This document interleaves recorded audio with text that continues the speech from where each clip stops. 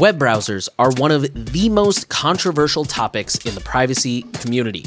People get fiercely defensive of their favorite browser and all the reasons that they think theirs is the best browser.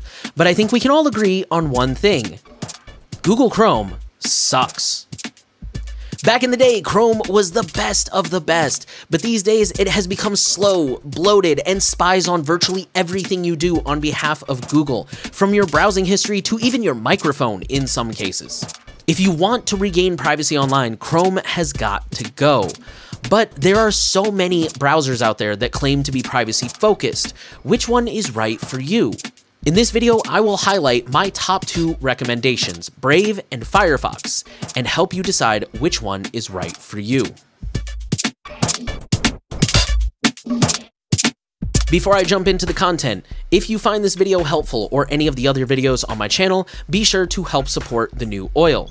Your support can help keep us free from influence and ensure that we are able to keep putting out high quality content as well as take on new projects. So if you are able, please consider supporting. We accept a variety of fiat currency methods as well as a number of cryptocurrencies. So again, if you are able, please help support us. If not, you can also help support us by just sharing the video around and spreading the word. Let me start off with a message to the veteran viewers in the audience you are inevitably going to ask, why didn't I pick your favorite browser? Whether that's LibreWolf or Ungoogled Chromium or Pale Moon or some obscure CLI that you cooked up yourself. Here are my criteria for browser recommendations. Number one, it must be available on desktop for Mac, Windows, and Debian based Linux distros. I will explain in a different video why I prefer Debian.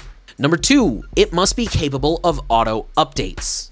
And finally, number three, it must receive regular updates preferably at least once per month. There are some other criteria, but frankly, those three alone rule out 90% of the other browsers that are out there.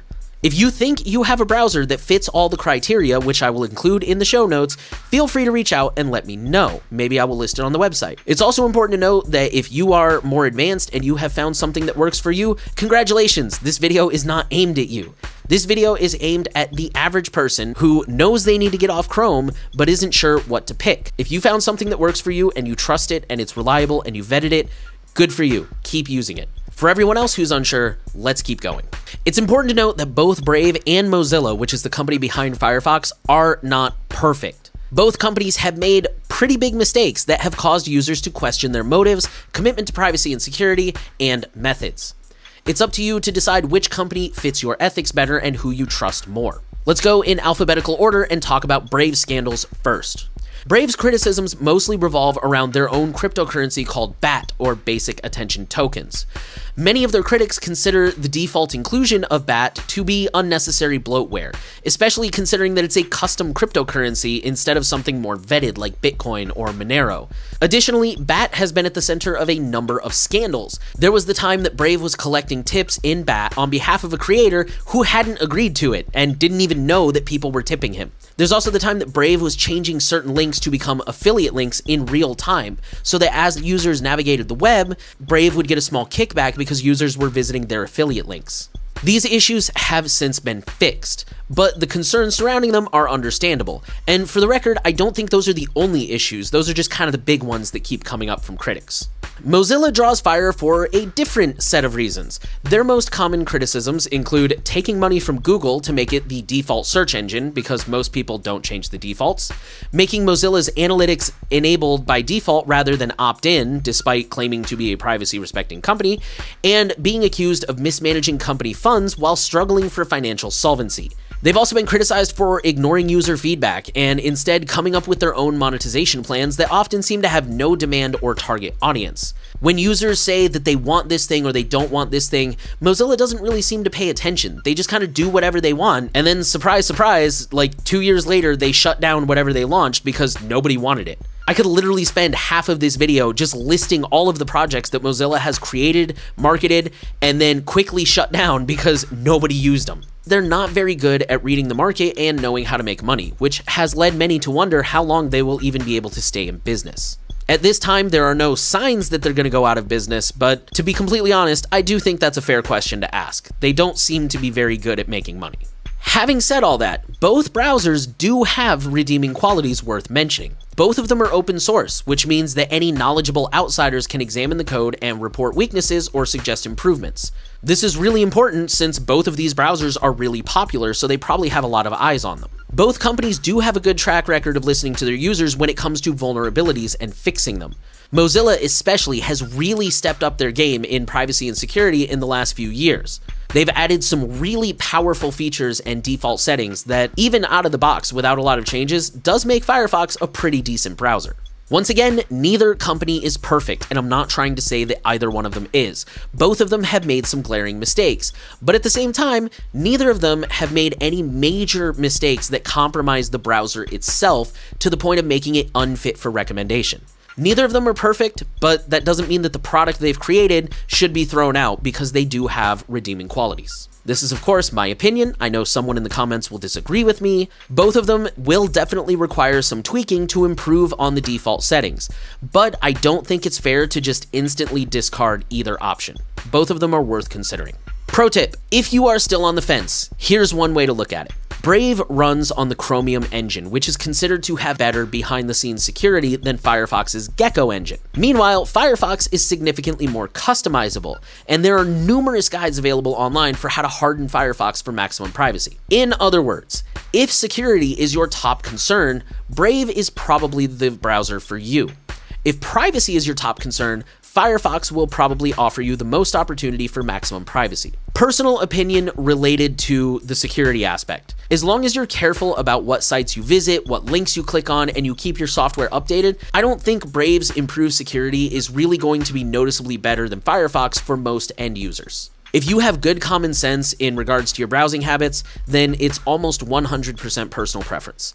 I would really only consider the security versus privacy difference if you're truly 100% on the fence and you can't pick which one to go with. Or alternately, just try them both. There is nothing to stop you from trying them both out and deleting the one that you don't like. So as I said, no matter which browser you go with, there are a few tweaks that you can and should make.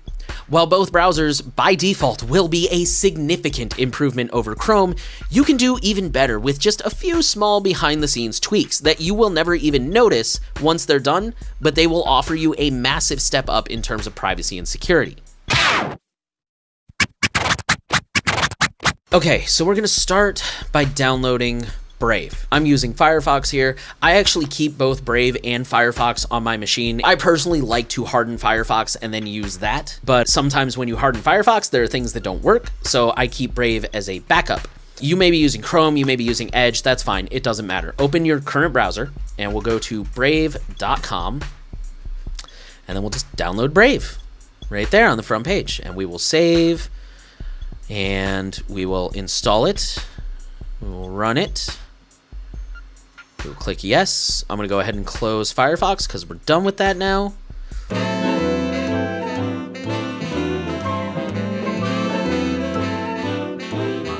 Okay, so here's Brave, and you know, it walks you through a little welcome tour where you can import your bookmarks if you want, and um, you know, it explains how it's got this built-in shield and content blocker. Now, Brave and also the uh, BAT that I told you about. Now, here's the thing: BAT is entirely optional. You do not have to use BAT at all. You can totally ignore it, or you can use it if you want. It's entirely up to you. It doesn't matter. Brave does come with a built-in ad blocker, which is pretty cool. But to be honest, I find their ad blocker to leave a little bit to be desired.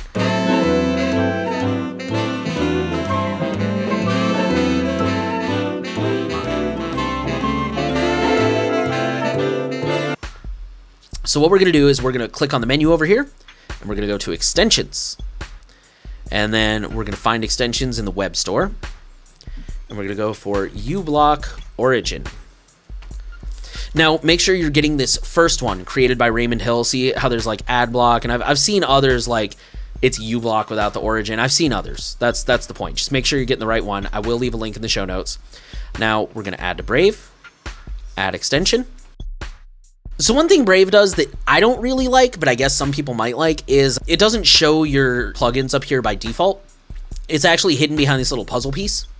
But once you click on it, you can pin it, and now here it shows. Or if you don't want to pin it and you just want to use it once, you click on it. But either way, whatever you choose to do, you click on it, and you click these settings. Now, I recommend blocking CSP reports, and these default filters are, of course, what the developer recommends. Personally, I like to enable everything. I've never had any issues with that. I mean, regions, you might have some issues there. But yeah, if you live in one of these foreign countries, be sure to enable those. Yeah, I just like to enable all of these. I've never had any problems. So there's a couple things that I think makes uBlock worth adding, even though you've already got the built-in ad blocker. One of them is it adds malicious domains, malware, phishing, stuff like that. Another thing is it works on tracker links. So if you want to share a link with somebody, a lot of the time there's these things called tracker links, which I should totally make a video about someday. You copy this link and you send it to your friends, and when they click on it, it tells the company all kinds of things about you and them and your relationship to each other. With uBlock Origin and this uh, URL tracking protection, it erases the tracking portion on a lot of links and gives you some of that privacy back. You can share links with people without all the tracking crap being there. It's really awesome. And then same with like uh, block outsider intrusion into LAN, it can help protect your home network. So yeah, again, personally, I like to enable everything. I've never had any issues with that. There is one more plugin we're gonna go get, and we have to go all the way back, and it's going to be local CDN. Now, what this plugin will do, I am not a developer, but this is what I've been told, so I apologize if I'm wrong. When developers develop websites, they use a lot of third-party libraries because those allow you to do really cool things on websites, but it allows you to not reinvent the wheel. It's kind of like imagine you're creating a delivery company. Why would you build a brand new car from scratch and design it yourself when you can go out and buy a delivery car? That's kind of what this is. Is they're saying I want to do this thing, I'm just going to use what somebody else has made, which is fine. The problem is sometimes these third-party libraries might be able to help track you. Like for example, if Google manages that library, so what local CDN does is it first of all proxies the library so that it helps protect your IP address from tracking. And then it also isolates each library so that it can't track you across websites. Again, if I'm wrong about that, I will update that, but that is how it was explained to me. So we are going to want to add this. To my knowledge, Brave does not have any like individual tab isolation and local CDN will help with that.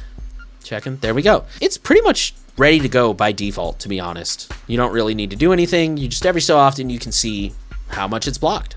Now then, let's talk about the settings. So we'll go over here and we will scroll down to settings. We're going to want to make sure that Brave is our default. On startup, I prefer a new tab or like a specific home page. It, that one's really personal preference. We will go to appearance.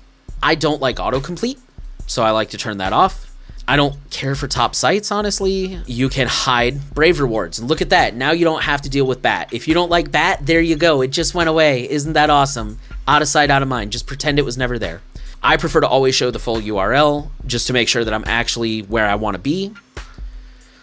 So here's the new tab page. Again, you can make it a home page. You can make it a blank page. I prefer blank pages. So this is the shield. Honestly, this is probably fine as is if you try to aggressively do some of this stuff, you may break things. In my opinion slash experience, uBlock Origin will take care of most of this and cause less breakage. It's entirely up to you, but I think this section is fine to leave as is. Now, Brave Rewards, again, if you're not using it, it doesn't matter. If you do decide to use it, then go ahead and open the rewards panel and get started, sign in, pick your wallet, all that crap. Social media blocking. Personally, I like to block all of these. These are basically those little widgets you see at the bottom of a website that say like, oh, share this on Facebook or share this on Twitter. Fun fact, those things track you. Every time you see the like share on Facebook page, Facebook is tracking you through that thing, through the tracking pixel. So yeah, if you block all of these, you will regain a significant amount of privacy. And if you go to a website where you decide you want to share this on Facebook, guess what? Open a new tab, go to Facebook, and post it. And then you can add comments and stuff too. Like, yeah, just block all of these. They're all crap. Okay, so security and privacy. So these are your analytics from Brave. I prefer to turn them off because I prefer the privacy. Is Brave going to abuse these analytics? I don't think so, but you never know if they're going to get caught in data breach or something like that, or if, God forbid, they will turn out to be malicious. That goes for Firefox too. So it's entirely up to you. You can go ahead and say, well, you know, if we're going to be using this FOSS software, it's our moral duty to help the developers and send data. And if you feel that way, go for it. I'm not here to tell you how to feel. If you go down here, what I like to do is I like to clear everything on exit. And the reason is because unfortunately, we have seen a lot of malware in the past that is capable of stealing your browser history and things that are in your browser, including passwords and saved stuff in your forms. So I recommend never saving passwords in your browser. If you want that one click capability, in both my KeePass and Bitwarden videos, I talked about how to add the plugin, which will give you that capability. Never save anything in the browser. Now, granted, by doing this, this means every time you launch the browser, you will have to log into websites all over again. So if you go to your Proton Mail, you have to log in, or if you go to social media, you're going to have to log in. If that's the case, then you're not going to want to uncheck cookies. However, keep in mind that even with uBlock Origin and even with the settings saying don't store third party tracking cookies, there's still the possibility that some of them might sneak through. So, in my opinion, it's better to just sign into everything. But again, that's up to you to figure out where you draw that line between privacy and convenience. Cookies, third party cookies are blocked by default, which is fine. Um, again, I like to clear cookies. I like to send a do not track with my browsing traffic. Truthfully, we know nobody honors that. But to me, it's more about just making a statement. Just saying, like, hey, I don't want you to track my stuff. They're going to do it anyways, but again, it's just about that moral stance. If you would rather just blend in and not send any special flags at all, that's totally fine and I respect that. It's up to you. Security, standard protection is probably fine. Always use secure connections is great because, for example, if we go to http slash slash thenewoil.org you'll notice it automatically upgraded me to an encrypted connection with that S right there. That's what the S means is HTTP secure. Yeah, enable that. It's awesome. I only recommend adding a custom DNS if you will not be using a VPN. If you will be using a VPN, just go with your current service provider. If you're not using a VPN, Quad9 is a good one, NextDNS is a good one. Stay away from Google, obviously. Cloudflare is a bit controversial. I I would say they're probably better than your ISP, your internet service provider, but there's better options. There's Quad9, there's NextDNS, and there's even custom. You can enter your own custom provider. Okay, sync. That's entirely up to you if you want to make a, a profile and sync it. Search engine. So Brave recently launched their own search engine. In my experience, it's not bad. It's pretty stable. It's okay. Out of the choices given, I would prefer to use DuckDuckGo. Start page is also an option, but yeah, you can also manage search engines and add your own default search engine. So moving on, we've got our extensions. We probably don't want Google for anything private window with Tor, I strongly advise against this. And that's because one of the advantages of the Tor browser, if you go and watch that video that I made about Tor, which I will link in the description, one of the advantages of the Tor browser is that it is designed to look like every other Tor browser, which means everyone using the internet looks exactly the same and it becomes significantly harder to fingerprint and track someone. So, I would never use Tor with anything other than the stock Tor browser. I would not modify it at all. Just make sure these are turned off. If you need to use Tor, use the Tor browser. And actually, there was one time that there was a, uh, a vulnerability with this that exposed your IP address. So I'm not trying to crap on Brave. I know they mean well, and I think that's really cool that they're trying to innovate like this, but I strongly advise against this. Wallet, you really only need to worry about this if you're going to use Brave for cryptocurrency. And then IPFS is something else. You can leave that blank as well. So autofill, I mentioned before, don't save anything, use password managers. So we're going to uncheck all of this so that we don't accidentally save anything. Languages, use your language. Downloads, ask where to save each file. That's good. If malware were to try to download in the background, it would pop up and ask you where do you want to save it, at which point you can be like, hold on a minute, I didn't agree to this. Help tips, you can leave that if you want, or you can turn it off. System, these are all probably fine. And then, of course, reset settings. And that's a total walkthrough of everything we got. That's Brave. Go forth and enjoy Brave and a more private, safer internet browsing experience.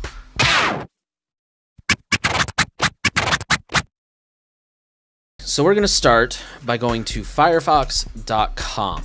And for those of you who recognize, yes, I am using Brave. That's because I no longer have Edge or Chrome or anything like that. I do have both Brave and Firefox personally. Whatever browser you're currently using, Chrome, Edge, Safari, go to firefox.com. It will automatically redirect you to mozilla.org slash whatever region you're in, slash Firefox, who cares? Click download Firefox, and it sees I am on Windows 10.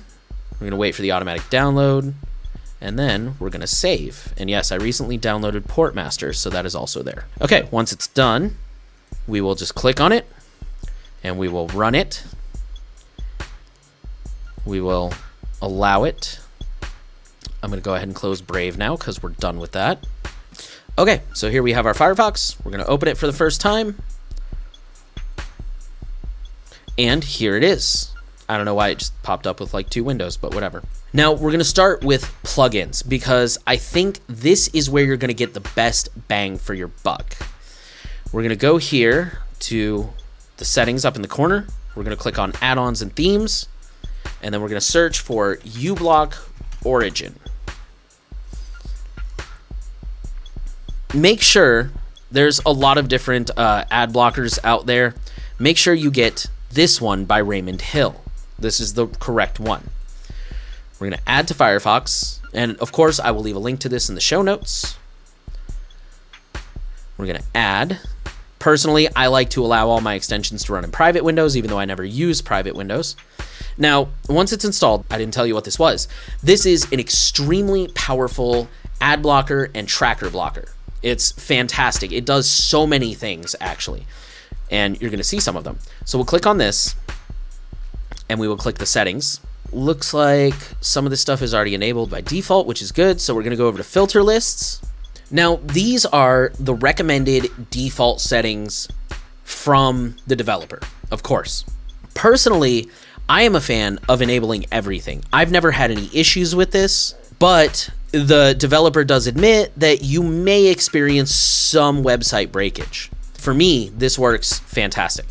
Now, I said it does more than just ad and tracker blocking. Look, for example, the URL tracking protection. This will remove tracking links off of URLs if you go to share them with your friends. Or the outsider intrusion into LAN. This will protect your local area network. Like, there's really some powerful stuff here, and I totally, totally recommend it. It just blocks known trackers, known malware, you know, as you can see on here, malicious URL, phishing URL. So, yeah, it's pretty amazing. And let me actually show you. We're going to go with something tried and true here that we can all relate to. We're going to go to YouTube. And we're going to load up, uh, let's see. And so here we are on this video. As you can see, it just loaded up right away and there's nothing here at the bottom, which uh, for those of you who have never used an ad blocker before, you'll be amazed by that. Now, here is how it looks without uBlock Origin. First, we have uh, this pop up for YouTube TV, gross, go away. And then we've got this ad right here for Purdue University, who I didn't know ran ads. That's pretty wild. And then when we skip that, in my experience, if we wait long enough, we will eventually see, oh, we've already got an ad over here. We've got an ad right here. I think these were already in the recommended, but yeah, it's, uh, well, it's not popping up, but in my experience, there have been ads down here too. Maybe we need to fast forward a little bit. But I mean, yeah, like you, you saw the difference right off the bat. uBlock Origin, uh, this, this side ad went away. Uh, this intro ad went away. All these little commercial ads, it'll skip every one of those. It's fantastic. And honestly, that's probably the only plugin you really need for Firefox, if we're being totally honest. It blocks a lot of trackers, it blocks a lot of ads, and Firefox, again, has all these really cool built in features to help protect you.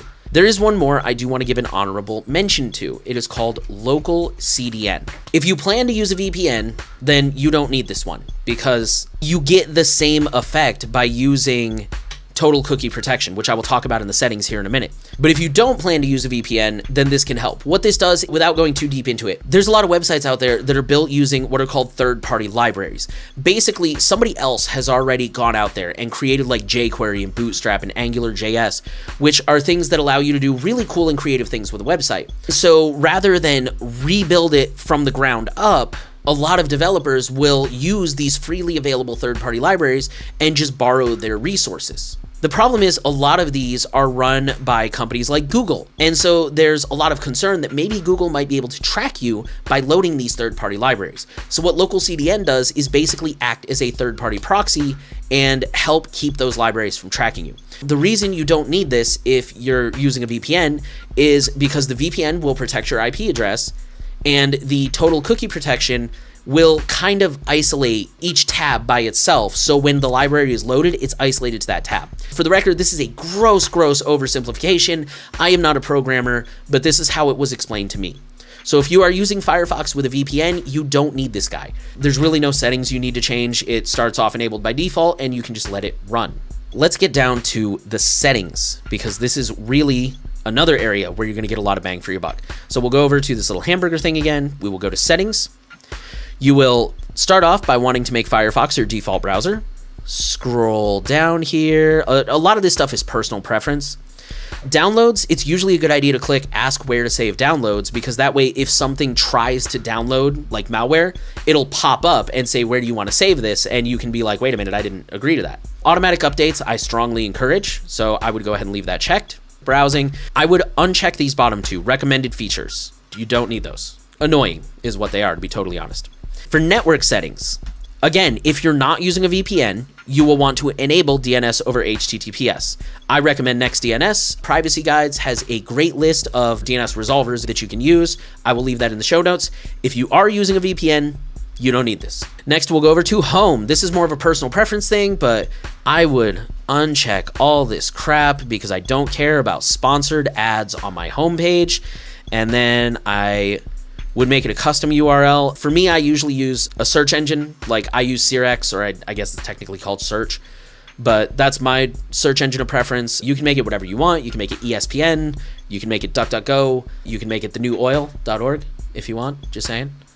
It doesn't change a lot, honestly. I wouldn't recommend that be a pretty boring homepage. Okay, search bar. Changing whether you want the search bar to be separate or not, that's entirely up to you. I prefer to put it right there in the address bar because I want to be able to quickly type my searches. Defaults. This is important. Get rid of Google change it to anything else. Back in the day, Firefox used to let you, certain search engines, you could add them as a default, and then they would show up right here and you could pick them. Firefox has kind of done away with that, unfortunately. Hopefully they will add it back, although as I mentioned earlier in the video, Mozilla does not really like to listen to their users, so they're probably not going to add that back. So I guess in the meantime, DuckDuckGo. What I do is I have DuckDuckGo set as my default, but then I have searx.be, and this is my homepage. So that way, let me show you, set home page, use current page. So now every time I hit the home button, it takes me to SearX and I can do my search term. But if I'm in a pinch and I just really quickly need to search for something, then it defaults to DuckDuckGo and I'm still pretty well protected. So that's what I do. You, of course, can do something different. Going back to search engine. I also like to remove all of these other search engines because I don't want to accidentally click on them and I don't want them updating and loading on my machine. I also like to turn off search, search suggestions because I don't like my search engine trying to guess what I'm thinking. Okay, privacy and security. So here's that uh, total cookie protection I told you about. So I recommend using custom. For cookies, I recommend all third-party cookies. Now, I think maybe once I've seen this break a website personally, it can happen. In my experience, it's kind of rare.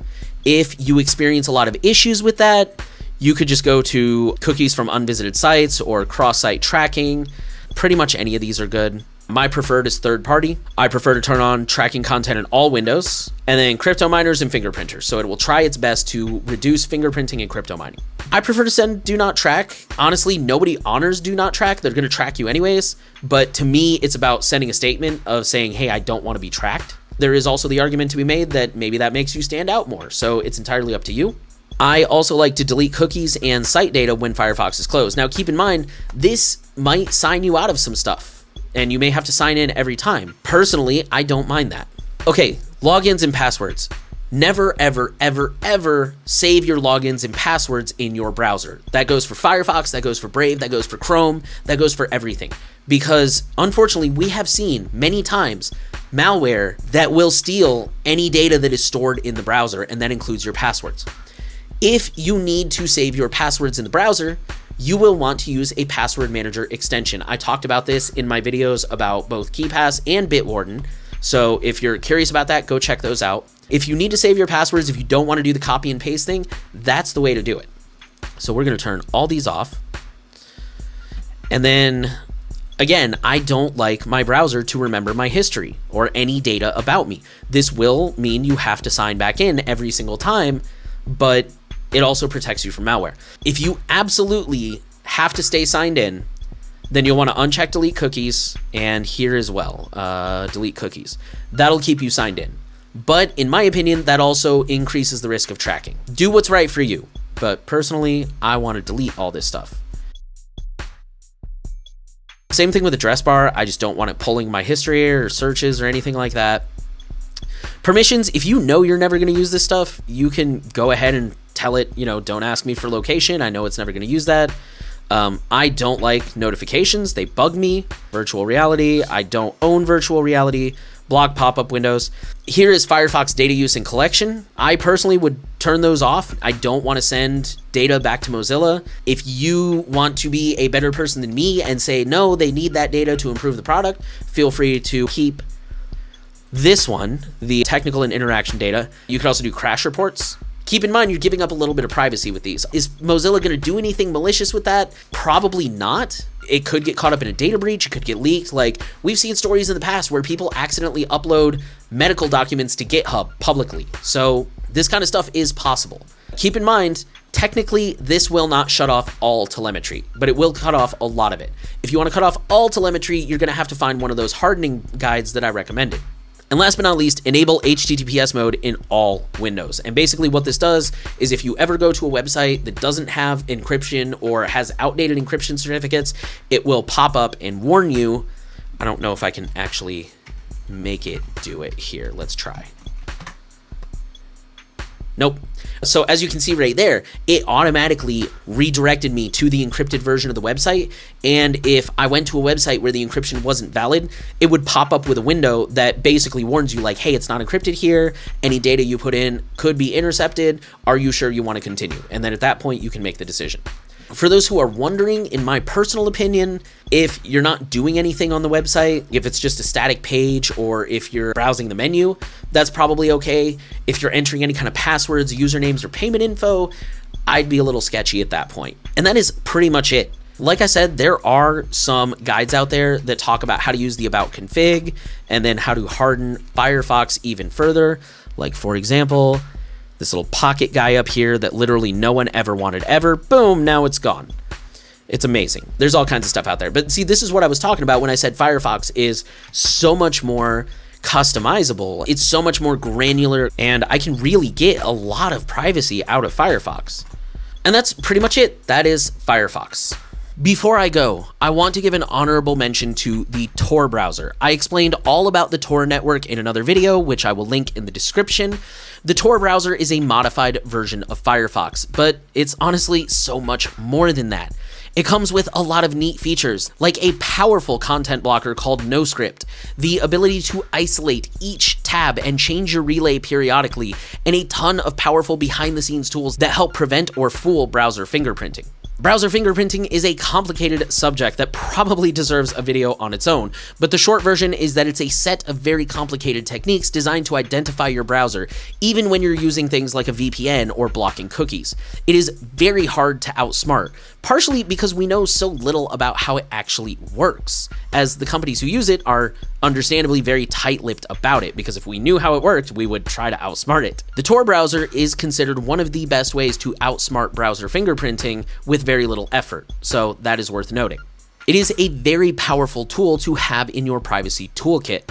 However, before you start using it, I recommend you watch the video I mentioned to learn more about the Tor network and how to use it properly. If you followed the advice in this video, regardless of whether you chose Brave or Firefox or even Tor, you should have created a browser that is a massive improvement over Google Chrome in terms of privacy while still retaining decent security. One final note.